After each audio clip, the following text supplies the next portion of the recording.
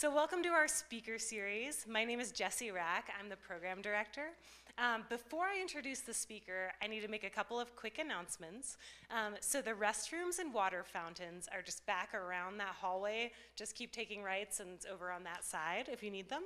Um, I also want to remind you, real quick, that we're a 501c nonprofit and we exist because of your support. So if you like the free stuff that we do, like this, um, we have some fish bowls in the lobby. You're welcome to drop a couple dollars in, or anything helps. Um, just let us know and stay tuned after the talk. Our, uh, one of our board members is going to make a quick uh, announcement to you as well.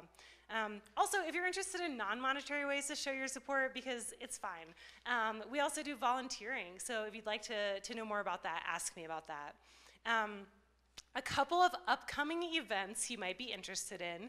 Uh, if you're really jazzed about this talk tonight with Olivia. Um, we actually also have a bee workshop going on this Saturday. We have five spots left um, in our native bee field workshop. It's getting to know our native bees. So Dr. Carril will expand on what she shares tonight. Everyone gets a net. You get to learn to catch and hold native bees and get some tips on how to photograph them. So we'll meet here at NHI at at 8 a.m.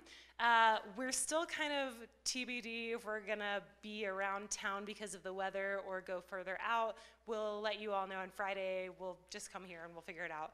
Um, it's $65 a person. So see me afterward if you want to sign up for one of those spots. If you're like have more questions and can't wait to see it in the field. So. Um, also, if you didn't get a chance to check out our gallery before the talk, it'll also be open afterward. Um, so the current art exhibition fe features the late Adele Sarand, and it's called Art, Nature, Spirit. So um, she was a visionary, a painter, a poet, a gardener, and a social activist. Um, if you haven't had a chance yet, check it out. If the work speaks to you, I'd like to invite you to return this same place, same location, same time next week on August 4th for our featured artist talk presented by Adele's son, Antoine Sarand. And so that's called Earth as a Sacred Garden, Art, Nature, and Spirit. And I forgot to do this thing, but Earth as a Sacred Garden. so there's that flyer. That's also free. You just sign up the same way as you did with Eventbrite. Here's the field workshop that's going on Saturday. So, finally, it is my pleasure to introduce tonight's speaker, Dr. Olivia Messinger Carril.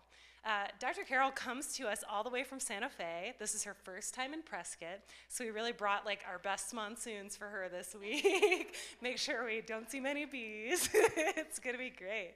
Um, so Olivia has been studying native bees for 25 years, over 25 years. Uh, she received her BS and master's from Utah State University and a PhD from Southern Illinois University in Carbondale. Um, she's currently conducting several large-scale surveys of bees throughout the western United States and studying several rare plants in, Mexico, in New Mexico, um, for which you have both a BLM grant and a Forest Service grant. Is that? Yeah, so nothing like having federal agencies compete over you, am I right?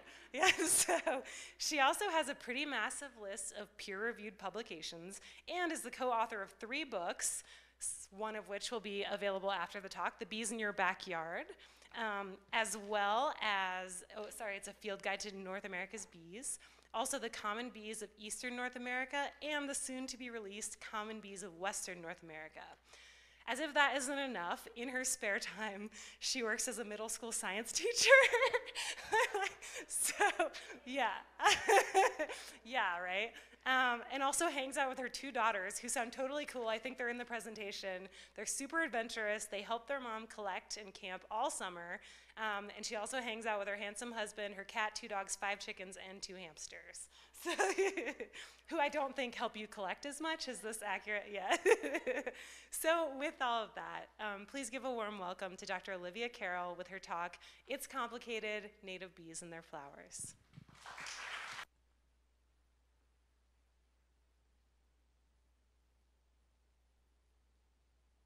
All right, can you hear me? Okay. Hi, everybody. Is this still working? All right. This is weird having this on.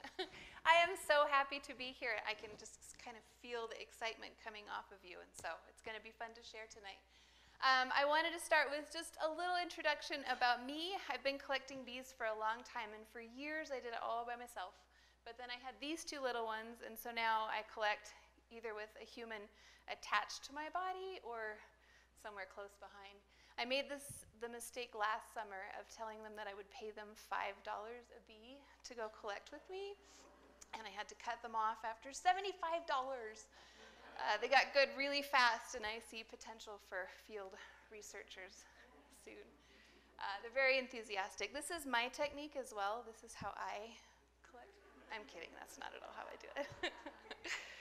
Um, I love what I do. I love to be outside looking at bees on their flowers, and it's really easy and obvious to see the connection. It's like this tangible ecological connection. If you read through textbooks all the time, they talk about ecological connections and they draw pictures and there's all these models of them. But when you're looking at a bee and a flower, it's very, it's manifested perfectly. You can really see it. Um, most people, when I say that I study pollination, more than once people have said, Polynesians? But um, so then I say, no, no, no, I study bees. And when I do, most people assume I'm talking about this insect. Who can tell me what this one is? What's this? Bee. It is a bee. What kind of bee is this? Very good. This is a honeybee. Yes. This is one of our most common bees. When people hear the word bee, this is what comes to mind. I tend to think of them as kind of the black sheep of the bee world not really a good representative of the bees that we find most commonly in North America. So let me walk you through the honeybee first and then we'll compare it to the other ones. So the honeybee is one species. There are more species in the same genus. The genus is Apis around the world, but the one that we use for honey production here in North America is Apis mellifera. There's just one species. Um, it's highly social, which means it lives in a hive. All of them are living together, maybe 10,000, maybe more individuals all together in one place um, where they divide up tasks that have to be done. So the queen's job is to lay eggs. There are workers whose job it is to collect pollen, others who collect nectar, some who clean up after the queen, some who take care of the offspring, some who find new homes. All of those jobs are divided up among the different bees that are in there. They have perennial colonies that can last for many years, and the queen, even, that one queen can last for five years, that one individual can stay alive. And because they're perennial, that means they have to make it through the winter. Most of the bees that I'll be talking about tonight, you don't see them in the winter. They're not around, and they're not in their adult form in the winter. So there, I'll talk about that in a minute. But these guys are in their adult form. They're grown-up bees, and so they need something to eat. So honey is preserved flowers. It's canned flowers. I can tomatoes, I can applesauce, all of these different things so that I have fruits and vegetables to eat in the winter. Bees can flowers. That's what honey is. Um, so, other bees, not so much on the honey front. They're semi domesticated. We can't call them truly domesticated because we're not totally in control of who mates with who, but um, we have more say over these bees than we do any of the others, and we have for a really long time. Our relationship with the honeybees is an old one. And they're not from, oops, that was the wrong button. Let's try this again. There we go. And they're not native to North America. So they were brought over here a couple different times. Over 400 years ago, I have a friend who likes to say they were brought for sweetness and light. They were brought for their wax and for the honey that they have. Um, so let's talk about, let's contrast those. Um, so the honeybee, get this in your mind now. The honeybee is a little bit like chickens, right? This wonderful animal that's semi domesticated. I have five of these. I don't understand them, but they're sure fun to watch. Uh, compare that to this. Boy, that's a tricky button there. Get it? There we go. A native solitary bee. This is a more typical bee right here. So let's talk about the ways that this differs from the honeybee so that you can get to know it a little bit. Um, for starters, bees come in a lot of different sizes. When you think bee, it's, it's easy to think that it must be honeybee sized, but bees can range from a little bit bigger than a quarter. I believe you have these around here. Maybe you've seen these, the big carpenter bees, all the way down to quite a bit smaller than a quarter. And in fact, they come even smaller than that. This one right here is Perdita minima. This is a small mining bee. It's found in New Mexico, Arizona, and Southern California. And this is the smallest bee in North America. It's found right here. It's a specialist on a little tiny plant called a leafy spurge, and that is to scale. It was taken with that quarter. Most of these bees don't nest in hives. None of them are truly in a hive. Most of them actually nest in the ground. About 70% of our native solitary bees are ground nesting species. So this is one of my favorite ones. This is a bee called a Diadasia is the genus. It's a, this one's a mallow bee, so it only visits um, globe mallow flowers when collecting pollen. And here she is building her nest. She's in the middle of a dirt road high traffic. I don't understand why they do this, but she had about 100 relatives all around here also building their own little homes. So, from this, maybe you can understand that these bees, by solitary, what I really mean is that they're, they're more like single moms, right? So each mom builds her own nest. She gathers pollen and nectar that she takes back to that nest all by herself. It's just her in there. Um, and then she lays the eggs in there. So there's no division of labor for these solitary bees that we're mostly talking about tonight. Um, most of these bees nest in the ground, but they don't all have the same sort of nest entrance. There's all sorts of different kinds of nest entrances. And really, if you don't see the bee go into it, it's kind of hard to know it's a bee nest. So keep looking for them, but if you don't find them, they're probably there. They're just kind of hard to see.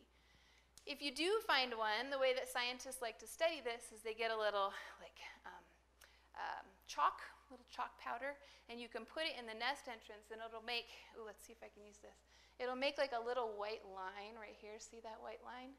And you can follow that white line down with a trowel. And at the bottom of the long main shaft, you'll find a series of little tiny rooms. Each one of these is its own separate little room.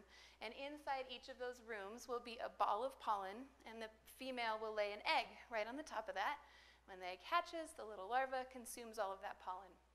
Sometimes the mom will backfill this nest, but that bee, that baby, is left in a little nursery all by itself in the dark, in the ground, to grow up. Brothers and sisters are in separate little nurseries off to the sides. um, typically, these are I don't know, three inches to a foot under the ground. They're not typically that deep, but they can get deep. Uh, this is my mentor, Terry Griswold. He found a, a bee nest in uh, south central Utah, a place called the San Rafael Swell. And he was really curious to know a little bit more about this, so he got out his trowel and the chalk powder and started digging and had to switch to the shovel in the back of the car. And by the end of the day, they finally found what they believed to be the bottom, and it was nine feet underground for a bee that's about a third of an inch in size. So the thought is, and it took me a long time to truly understand what was happening here, is that that little bee uh, is one of a series of generations that have probably used the same nest entrance, but each generation digs a little bit further down. Some bees nest in wood. This is a leaf cutter bee, a little megachile. She's bringing back a little bit of wallpaper to line the insides of her nest and make it perfect for her offspring. Um, it's just a little bit of leaf material. Any of you have lilac or rose roses? You've seen the perfect little hole punches cut out of them? Probably one of these. She likes to take that and use it. Um, if you look inside, it'll either be little lined pieces or maybe she'll chew them up and use them. And so what happened, oh, that's the Michael Phelps flip there. Did you see her flip around? And then all the pollen that's on the underside of her body, she will dump off in there. So this is a series of, of of little nurseries. So here's pollen. There's an egg in front of that and a wall, because you know how siblings fight. You have to separate them. And then pollen, another egg, another wall, pollen, egg, wall, so that each of the offspring is separated inside with just the one entrance. Um, here's one, a little more origami-like. She's folded up, made little envelopes out of leaf material. And what's really cool about this is that if you think about it, the one at the back, is probably going to be fully developed and ready to go a lot sooner than the one at the front because it got a head start at development, right? So either it's going to be impatiently waiting back there, or maybe it's going to dig its way through everybody to get out and get going with adult life.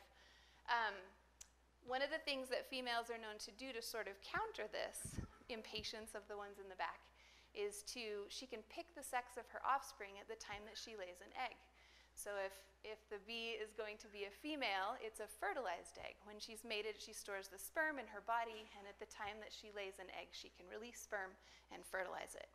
Uh, males are unfertilized eggs. So she can make males without mating with another bee. So what she does is the females, who tend to be more complicated, they have more genes, I don't know why I'm more complicated. I, I have the same as my husband, but there we go.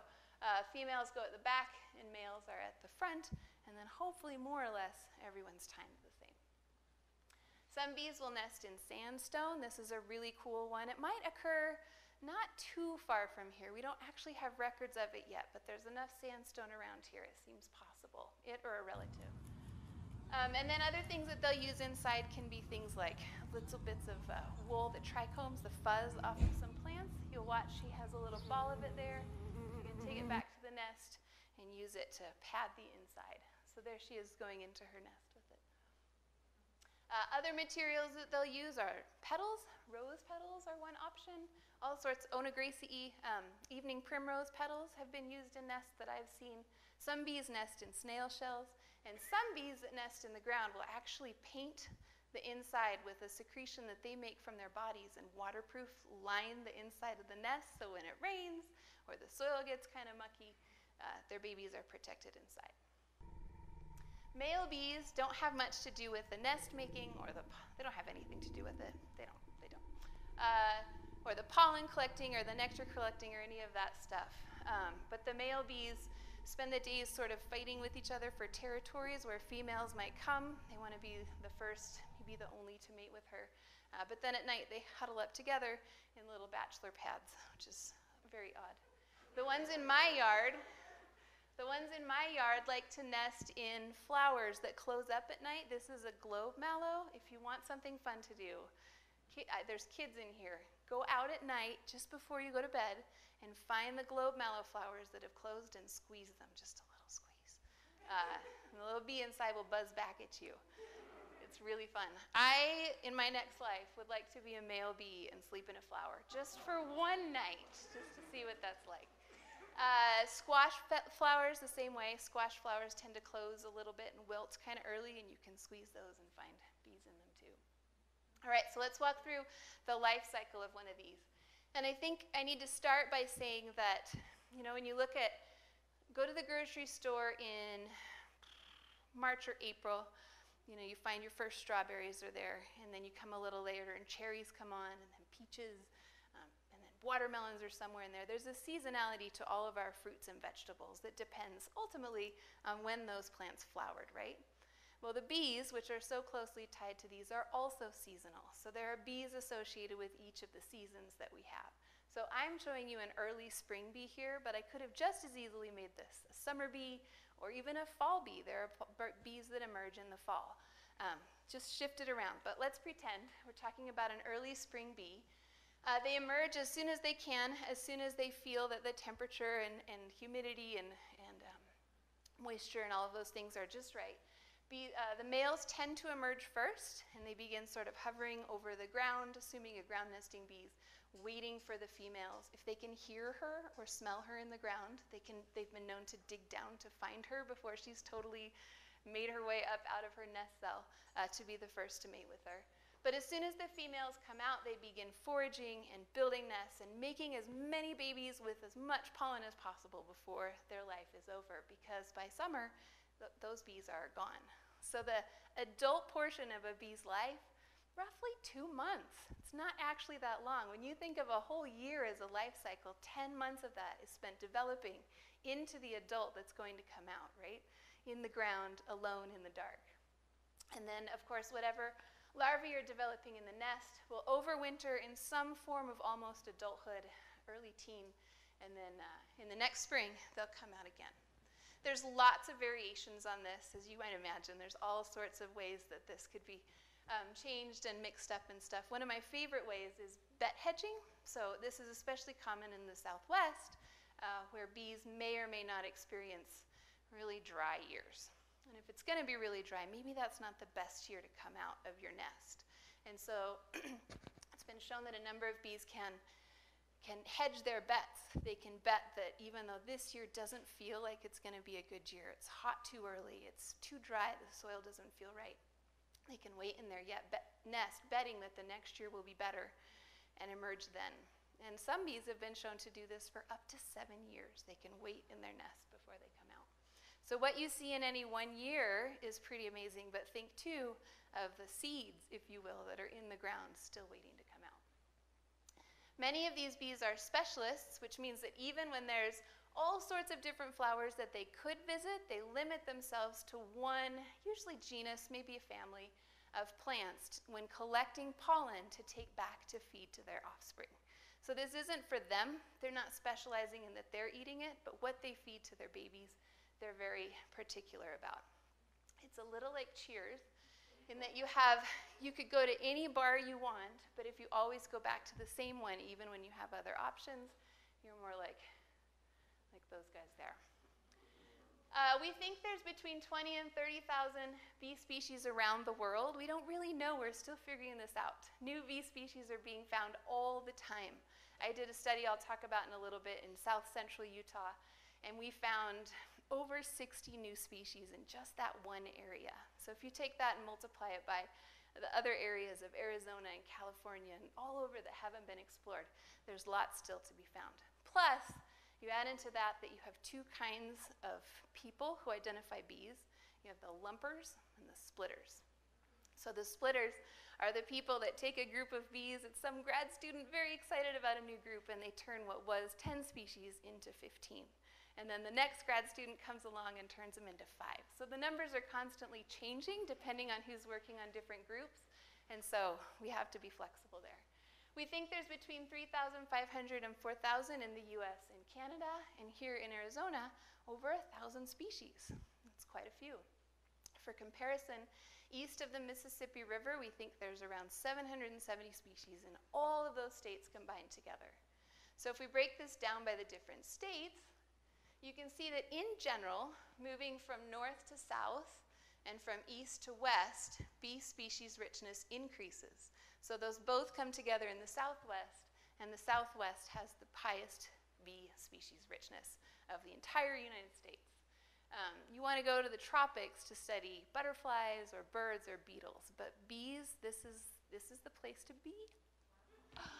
Uh, California kind of takes the cake. There's 1,600 different species there in California, but that makes sense. It's a really long state. It also has the highest and lowest points and some really interesting habitats you don't find elsewhere.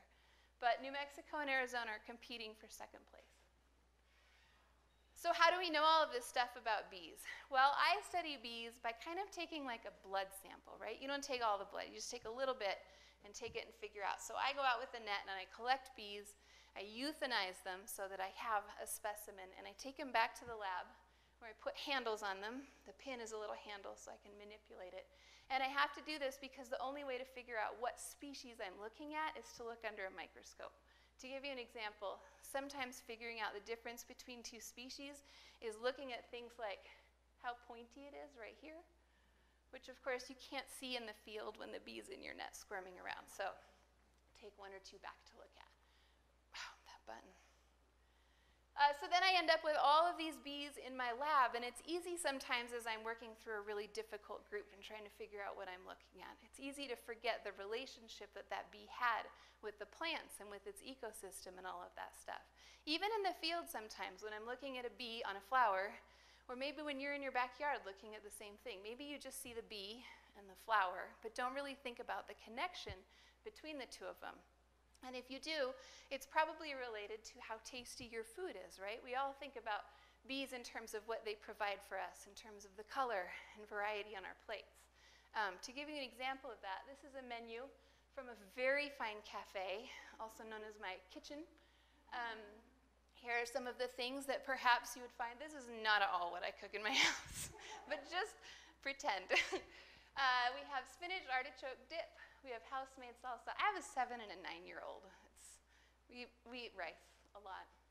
Um, we have spicy Italian sausage and some Greek salad. I put BLTs on there, barbecue chicken wrap. Maybe this is what I wish it was like. Uh, lamb chops, shrimp scampi, eggplant parmesan, takes too long, and then pie. That's my favorite dessert, so I put pie up there. So let's imagine if we didn't have bees plentifully pollinating and providing seeds and fruits for us, what it might look like. We'd pretty much have to get rid of the house-made salsa. Everything in salsa is bee pollinated. Uh, our, our soup gets a little more boring. It's not, sausage and potatoes, I mean, that's not bad. Uh, Greek salad's not quite what it used to be. Our BLT is missing a lot of the ingredients in there. Chili, oh, chili's gone, honey's gone, zucchini's gone, all of these things that we like. And truly, it's, I say gone. None of this is actually gone. It's just that the other pollinators who pollinate these things, like flies and all of the other stuff that we find, don't pollinate as efficiently, as quickly, as effectively. And so all of this would become a lot more expensive. It would be very expensive to eat all of those foods. So our menu might look a little more like this. Our BLT is now a B. Uh, shrimp scampi. Uh, the rice is still there. The par- mozzarella parmesan, we've lost our, our eggplant parmesan isn't quite what it used to be. And pies are all gone, which is pretty sad. Uh, but we can take this a step further too, because a lot of the dairy products that we eat are the result of, of dairy cattle being fed alfalfa, which is pollinated by bees. So let's get rid of all our dairy, and now we're left with kind of a boring menu. Pretty much we have meat and grains. That's all that's left. So um, not quite so good. So this is maybe where our brains go if we're thinking about bees and flowers. But seldom do we really consider what bees are doing across a ginormous landscape. One bee is visiting lots and lots of flowers, but then multiply that by all the bees that are out there visiting all of the flowers. And it gets pretty complicated. And so to demonstrate that, I've put together uh, this is how ecologists tend to model those really complex landscapes, right? Looking at something like this, it's hard to make sense of all that's happening out there in terms of the bees and the flowers. So we simplify it to wrap our minds around it with something like this. So here's some flowers that are found commonly in the southwest. These are ones I find in my yard, even uh, in Santa Fe. You probably find them here too. And here's a couple bees that are very common. These can be found all over everywhere. So let's walk through how those bees and those flowers are related. Uh, the Melissodes, that's a male Melissodes longhorn bees. Uh, many of them are specialists on sunflowers, so we can draw a line from the bee just to that sunflower. But that, it's actually the sunflower family, so we should draw a line to both of those. Uh, the osmia up there, the mason bee, there's a couple that prefer only penstemon. That's the only thing that they want to visit. So we'll draw a line like that. Bumblebees fly for a really long period of time. They have these long seasons, and so they visit pretty much everything. They're generalists. And then our green metallic sweat bees are kind of the same way, and they visit just about everything.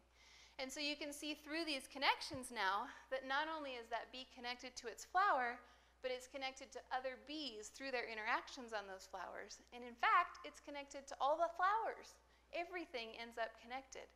And it's interesting to think about this because then we can imagine well, what would happen if we were to take something away, right? It's not as simple as just that mason bee going away because well, its flower isn't there anymore. But the bees that were on that have to shift something else. So now there's probably a little more competition. Oops, went too fast. On some of the other plants because there's more bees visiting those. We can take it the other way too and say what would happen if we added a flower? What if an invasive species were to come in? And now we have this in there. Invasive species happen to be invasive partly because bees love them. They're super popular with the bees. They get visited all the time. They set tons of seeds and they grow like crazy. They, they are prolific with nectar. They have decent pollen depending on the one. And so oftentimes lots of bees will move on to these invasive plants. And what, what happens when that, that little plant comes in is that our network stops being connected in the same way that it was before. Some of the connections that were there split apart, and now we have isolated groups within there where once it was all connected. So I want to show you this with some real world examples, some actual pollinator networks that have been done. This is one of my favorites just because it's so beautiful. And I'm kind of a history fan, and this one goes way back in time. So this is one from, um, there was a man named Charles Robertson who lived in Illinois like 130 years ago now. And he was very fastidious in his note taking. He took excellent notes. And he documented every bee visiting every plant in an area where he was interested in doing some field work. Um, really cool that he did this. In my mind, I'm imagining he was out there like on a horse getting to his field sites. Man, my kids would love it if that's how I collected. And so anyway, these, these scientists revisited the areas. Do you, know what he, you want to know what he looked like? This is what he looked like. There he is. Uh, these scientists came back, and because we still have all of his data from so long ago, they were able to revisit those same plants 120 years later and see what had changed in terms of bee plant interactions. And they focused on just 26 of those flowers and created a pollinator network that looks like this. Yeah, it's a little complicated, it's not bad. Uh, on the um, what side is this? The right side are all of the bees, and on the left side are the 26 plants. Obviously, the 26 plants are all still there um, because otherwise that wouldn't make any sense. Um, but 109 of the bee species that he originally found were there. Many of them were gone. So you can see in red the ones that they didn't collect on those plants. Um, so they found lots and lots of changes in those networks over time, which was kind of interesting. Um, obviously not because the flowers were gone, but because the bees were. We need to be careful here with the word gone, though, because many of the bees that were on those plants are generalists, or, if we look closely, many of them are kleptoparasites. So these are these incredible bees that do like a cuckoo bird does, and they sneak into a bee's nest when the, the host bee, the mama bee, isn't home and lay an egg. And when the egg hatches, it'll have these giant mandibles and it snips the other bee in half and then eats the pollen that's in there. It's very sneaky. But those bees don't collect any pollen, so they don't really care what plants they visit. So the fact that they weren't found doesn't necessarily mean they were gone. Perhaps they're on an invasive plant that's come in in the last 120 years. So drawing the conclusion that those bees are no longer in the area isn't what we can really say from this, just that the network has changed really dramatically in 120 years. So let's look at one more here. We also don't know how much he sampled compared to how much we should sample now. He didn't write down how long he worked. Um, this is from my master's work. I did this in, uh, when did I do this? 2000 to 2003. It was a long master's. Um, and this is Grand Staircase Escalante National Monument. So it's a very large area, about 2 million um, acres in south central Utah. You can kind of see where they're roughly 50 miles by 100 miles in size. And um, they were really interested to know what bees they had and asked if I would come out and sample them. Perfect master's project. So I got a, a crew of people and we went out for four years for um, six months of each field season. So from April through October, um, every two weeks we collected in a series of plots that were always collected in the same way.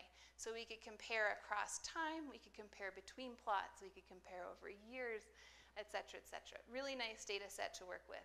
In all, we found 660 bee species in this area, about 80,000 individuals from 1,600 days of collecting. And in the plots, which are those yellow dots that you see on there, red spots where we saw a cool flower and just stopped to collect. But the yellow squares, where we stopped, we found about 72% of all of the bees in our plots. So our plots are pretty representative of everything overall, and we've got great bee plant data for those plots because we sampled them so regularly over time. Um, so here, I made this just to show you a plant pollinator network for one of those plots in one of those years. The yellow there, yellow-orange, is bees, and the, there were 15 plants across the, the season that I collected this. So those are the flowers down there in blue. And so I can take this now and I can look at it across the season. So these are the connections that were there in May, and then in June, then in July, nothing really happened in July. It was really kind of a dry time before the monsoons come on. And then August, some more things. And then, oop, almost did it again, September. So now we have this completed network, but you can see sort of a time component added into that. And what's really interesting to see is that when you look at any one month by itself, it feels pretty isolated. But through these little hubs, these, these bees that seem to think of them as like Anyone know the Kevin Bacon seven degrees of separation game?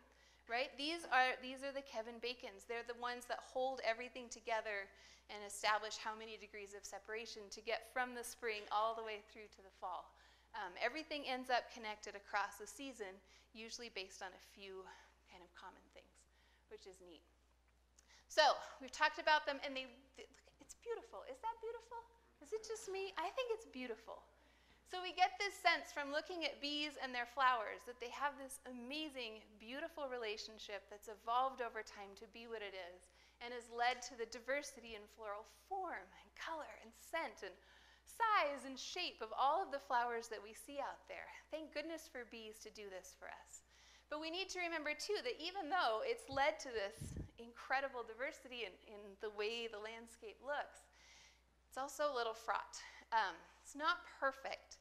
If you think about this for a minute, pollen is pollen is the equivalent of like the cash, right? That they both want. So every bit of pollen that gets back to a bee's nest makes another baby, right? So the more pollen that gets there, the more babies are made.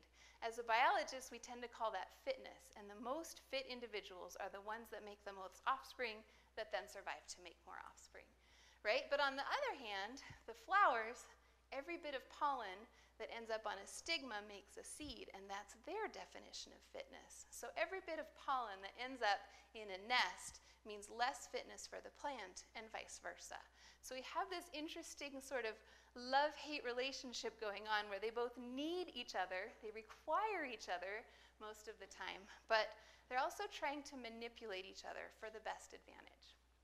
So, um, Charles Darwin was one of the first people to really study what we call this sort of exploitation that's happening between the two of them. And he said, I do not believe that any animal in the world performs an action for the exclusive good of another of a distinct species. Yet each species tries to take advantage of the instincts of the others, right? So that kind of summarizes in a nutshell what's happening with these bee plant relationships. You can call it sort of a balanced mutual exploitation. So let me show you a few ways that this happens that are really interesting to kind of think about when you watch bees on their flowers. Uh, this one here is a lovely little bee visiting an Arctostaphylos. You guys have, what's the common name for Arctostaphylos? Manzanita. Uh, Manzanita is pretty common around here. It occurs throughout the southwest. It has these narrow tubular little flowers, and to get at the pollen inside, you have to be a skilled bee that can land upside down on the flower and shake your body. You have to disconnect your wing muscles from your wings and then vibrate those wing muscles, and the pollen comes out like a salt shaker, lands on your body, and you can take it back. If you're too big or not skilled enough at doing that, there's still good nectar in there. So many of these bees will land on the end. I don't know if you can tell, there's a hole in the end of that flower right there that this bee has cut. She's cut a hole and stolen all of the nectar out of there. Now no one wants to land on this flower because now there's no nectar reward for being there. So she's decreased the chance of that flower being pollinated by stealing the nectar out of it. Uh, here's another example. So that was a bee that was maybe too big to get the job done. But tiny bees are also a problem. This is one of those little tiny mining bees right here, small mining bees and it's only visiting the anthers, and the chances of it coming in contact with the stigma are pretty small. It's not going to be the best pollinator for this plant. You guys have this one here, Rocky Mountain bee plant? Yeah, okay. Um, so there's another example. Here's, here's an example going the other way of a flower manipulating a bee. So this is an orchid that you can find in Europe. a lovely, beautiful orchid. It's kind of amazing. It grows in really poor soils, um, but it has these great relationships with the mycorrhizae in the soil that help it do okay.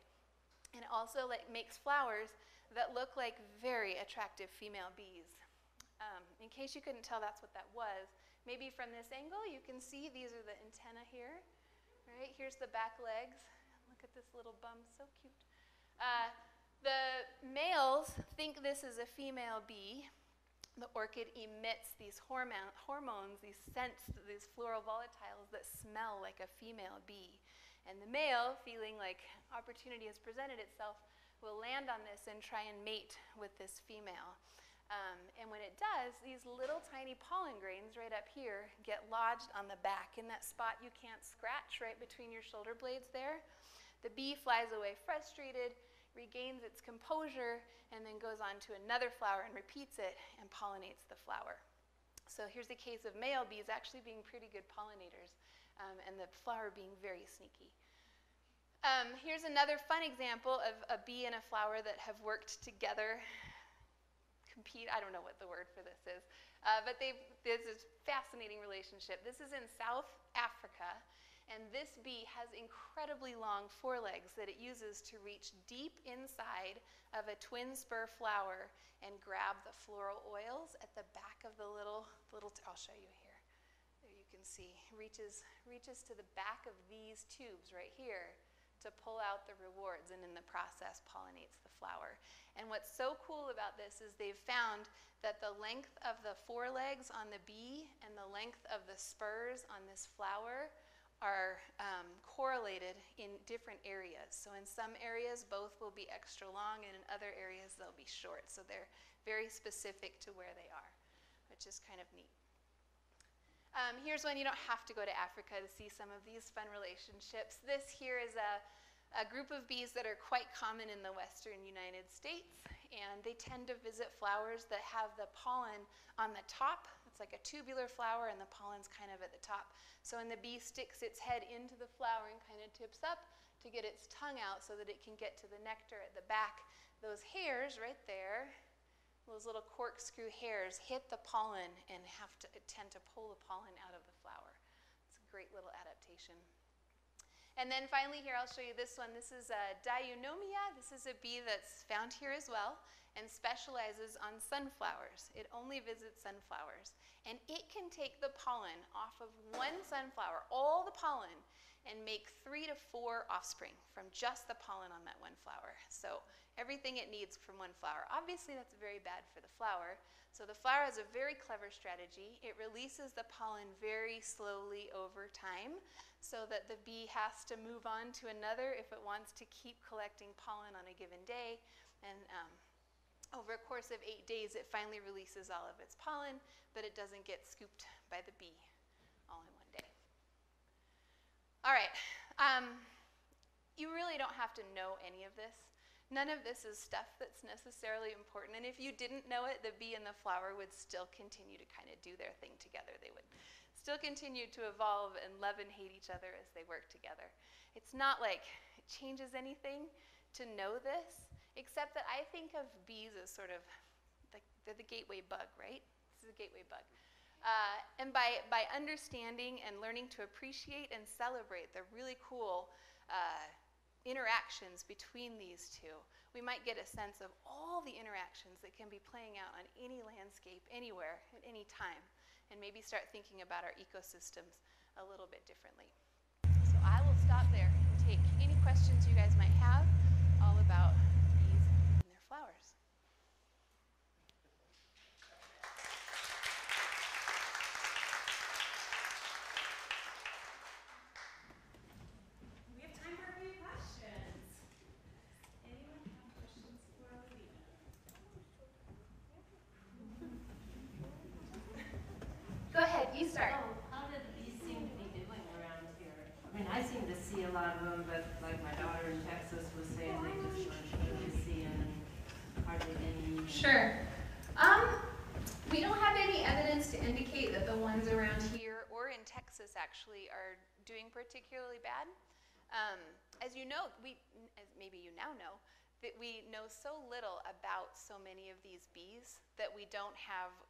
quantifiable data to say that this bee has declined drastically. The only ones that have been really well studied in terms of numbers like that are the honeybees. Um, and we all know that story. That's different though. That's, that's totally different. And the bumblebees, we've, we've studied the bumblebees. They, they're in colonies, they're a little bit easier to get numbers on, and they tend to be more common in collections. So then we end up with, with better records that we can look at over time. And of the, what is it, how many, bub, 40, 40 something? Different bumblebee species in North America. Um, evidence suggests that maybe four or eight of them are in pretty serious decline. Like a couple maybe are even gone. We're not really sure what's going on. So bumblebee wise, there seems to be a couple that, on the other hand, there's some bumblebees that are becoming more common and some that we just don't have enough data to say one way or another what's happening with them, which is kind of, we got our work cut out for us.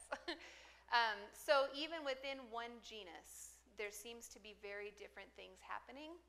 We don't know if it's because of um, maybe they're more certain groups that are maybe more closely related to each other are more susceptible to different diseases, whether it has to do with climate change. Bumblebees tend to be more high elevation, more associated with the past time when the earth was much, much cooler, and maybe some of them just aren't handling the, the, the fast progress of climate change the same way. But for the rest of the bees, I mean, if we're still finding new species, Now we have evidence of it here at this one time, but we don't know what it was like 50 years ago to say one way or another.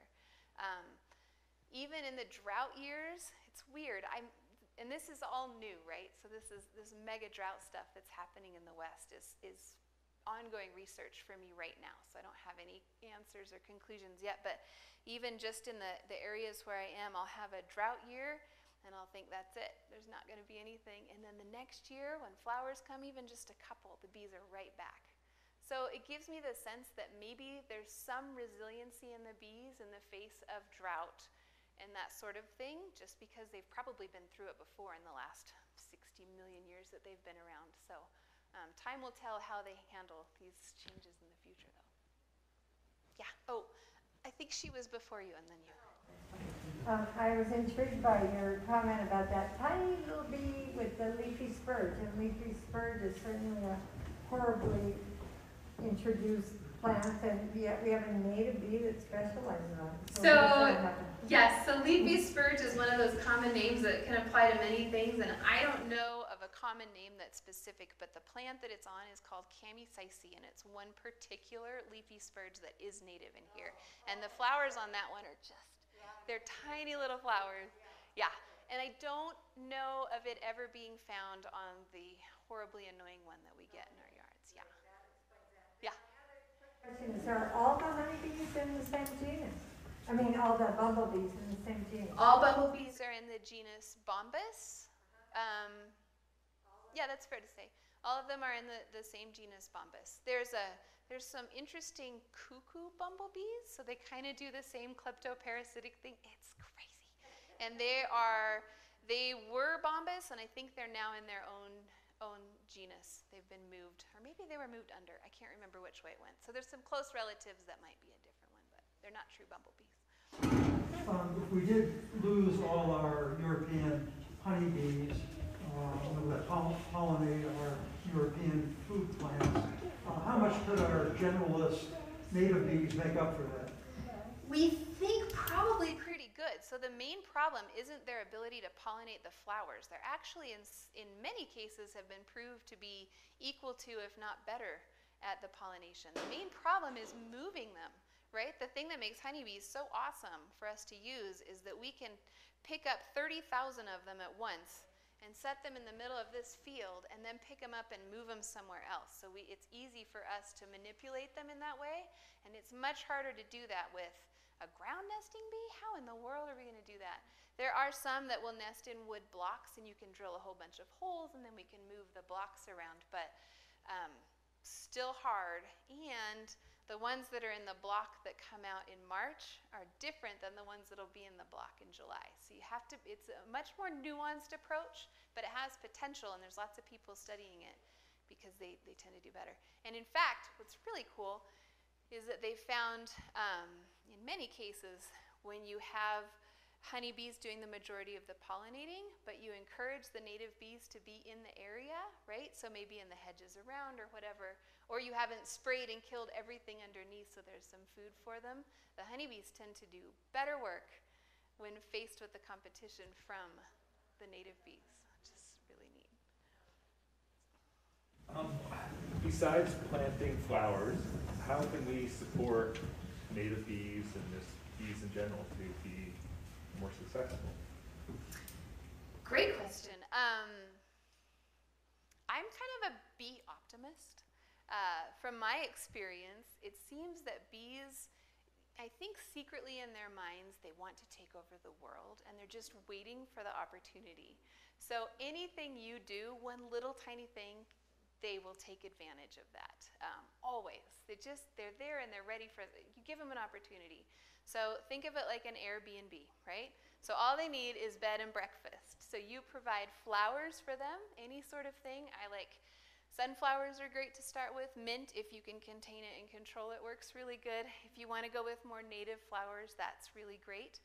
Um, but then um, providing homes for them is really important that are near the flower patches that you've put in, whether that's undisturbed earth or earth that hasn't been sprayed with pesticides, no weed barriers, all of those sorts of things. Drill some holes in a piece of wood and let your kids watch what happens. It can be really fun. Um, So if you want to provide habitat, I think that's always a good idea. I don't think there's any reason, especially in the face of some of the fragmentation that happens as our cities grow, why not encourage them in that way? But for me, from my point of view, the other really big thing is getting people to understand who they are and what that they have these amazing stories so that we learn to like celebrate and appreciate them for who they are and not for who honeybees are. To me, if you go out tomorrow and talk to someone over coffee about native bees and someone else is turned on to them, I think that's that's in the end going to be the best thing for them. Yeah, not to belabor the gentleman's question, but I'm curious if there is any agricultural fruit or vegetable that we all eat essentially that I would assume is grown on an industrial monocropped scale that you know is actually benefiting from our backyard bee pollinators? Our, our, our native The bee native, pollinators? the native bees, yeah. Yeah, so the first one that comes to mind that's really easy is alfalfa. Alfalfa cannot be pollinated by honeybees. They hate it. They hate it. it the, when you open the flower and try and mess with it, it whacks you in the head, and honeybees don't like it. But the native bees do quite well on it, and there's a couple that are really good pollinators of it that absolutely, um, and some that aren't. But uh, in addition to that, there's a, more and more and more of our, our orchards in the Rosaceae, so things like cherries, um, yeah, all of those those sorts of things are, are more and more pollinated by mason bees. That's a really big up and coming thing. Um, squash can be pollinated by either. I don't know of any cases where honeybees are excluded completely. But then when you go down to the tropics and get into some of the things that are happening down there, there's a whole bunch of plants, trees, a lot of our nuts and stuff that are pollinated by the native bees that are there that have nothing to do with honeybees at all. I have a few questions. Okay, Um, first one, was that just a butterfly net that you use, or I is wish it I a brought one special in, it's in net? my car. Is it a special net or just like a butterfly? You can use a butterfly net, Okay. there's no problem with that. I tend to find them a little too wide. I gotta swing fast. You gotta be aggressive and get in there. It's be, be aggressive. B E E E aggressive. Yeah. Uh, and mine, mine, I have them custom made by somebody, and it's a golf club handle. But the golf club's removed, or the club's removed from the end, and then it's got a piano wire for a hoop that's around, and then I sew my own nets to go on them, and it's like wedding veil material and like some canvas duck. Um, and then I have like longer ones and shorter ones, and and it's also a great walking stick. So they were. I it's hard for me to walk without one at this point, but that's what I use. The the butterfly ones, there's a different swing to them, and it might be just because I'm so familiar with the other, but to me they're they're a little different. That's awesome. You like that? Yes. Yeah. Um, Uh, talk to me if you want, I can tell you how to get your own. My next question is, um, do you have a particular website that you prefer for identifying plants? Would you recommend For plants, for plant for plants, flowers, um, here in Arizona, or just a, a website like an application? I use a couple. Okay. I, I'm I'm growing quite fond of iNaturalist. I think that's a really great place to do it now, especially as more and more people get on there. You can take a photo, and within an hour, three people have weighed in on it. And the I, found the bee IDs sometimes are good, sometimes aren't, but the flower IDs tend to be great, really good flower IDs. iNaturalist, I I as in iPad, like a lowercase i and then naturalist. I'm pretty new to this, so can you tell me what when you refer to the mining bee? What does that mean, mining bee? it's called a mining bee because they the whole genus maybe the whole no def, let's, let's stick with genus the whole genus nests in the ground so mining they're digging down yeah and the genus if you want to look it up and read more about it the one i was talking about so there's two andrena a-n-d-r-e-n-a and the other is the perdita, and they're the teeny tiny little ones, perdita. And there's a lot of them in Arizona, so they're a common one. And they come out mostly after monsoons kind of taper just a little. So within the next couple weeks, you'll see them in abundance. They're fun. Yeah. I had another flower set I was going to say. Do you have one? Being around from being around here? I use iNaturalist, and they actually have an app called Seek, like S E E K. That's sometimes nice. It's not always as accurate, but it's nice for like on the fly, very quick ones. Because you don't have to take a picture and upload. You can just scan the area and it gives you an idea of what it might be. Um, that's what I use. Cool. Thank Uh, we have time. Let's take one more question. Then I think I'm sticking around here. too, so. Oh, okay. Come see me in a minute. I'll take his and then come see me. Um, I'm back to your map of the US, which showed all the different species and the mother lode was here in the southwest. Why does only Florida only have like half as many different species? Florida would seem. like Right, it would, wouldn't it? And no, and relative to the states north of it, it does have more. Um, Nobody knows for sure. So all we have are a whole series of hypotheses that are really difficult to test to try and figure out why bee diversity is so great. But we, it's a pattern that holds true around the world. So if you go to um, the deserts of South America, if you go to deserts in, in Central Asia, if you go to Australia where it's all the deserts, that's where bee richness is greatest. Mediterranean climates, like the whole South France, Italy, Greece, Turkey, also really great for bees. So something about drier climates tends to be good. So what do we know about drier climates? They have a longer flowering season, and since bees tend to be pretty short-lived, that would mean there's lots more niches for different bees to be in an area that while it's flowering. They tend to have drier soils, so maybe all those ground nesting bees tend to do well there.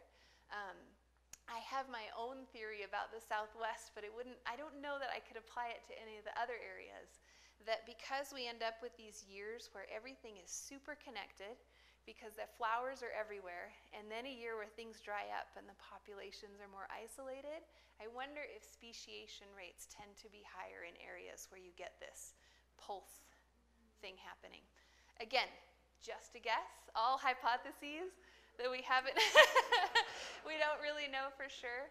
Um, but yeah, we also find that if you go back east, the proportion of ground nesting to twig nesting bees tends to like twig nesters tend to do better in eastern. So maybe something about those soils contributes as well. Yeah. And then and i don't, I don't know enough about florida. I should go to florida. Hmm. uh, i don't know enough to say for sure but one thing we know in the tropics is that because the season lasts so long without changing very much there's flowers that tend to last for a really long time rather than the like quick changes that happen here in like astragalus is out and then phacelia and then penstemon blah blah blah.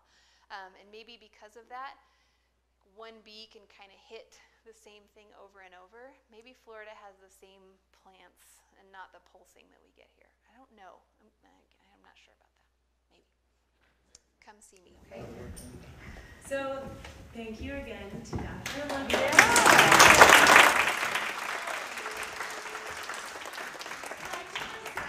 Natural History Institute official hat and sticker.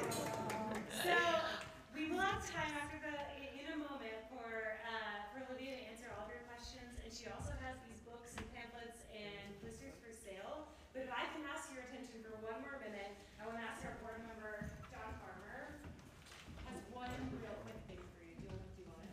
It's not on Hi, you. my name is John. There Hi, my name is John Farmer, and I'm here representing the Board of Directors for the Natural History Institute.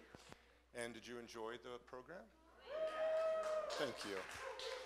So here's the deal. We have incredible plans for the future with the Natural History Institute. And to continue this type of programming, we need your financial support. So whether it's given to our annual campaign, making a one-time donation, considering a large major gift, including us as part of your estate plan, we would love to visit with you and find out what, why you love the Natural History Institute. You can contact Bob Ellis. Bob, raise your hand. He can put you in touch with our new development director that we just hired, or myself. And on behalf of the Board of Directors of the Natural History Institute, we sincerely thank you for your support, and please tell your friends and family about this organization and its mission. Thank you.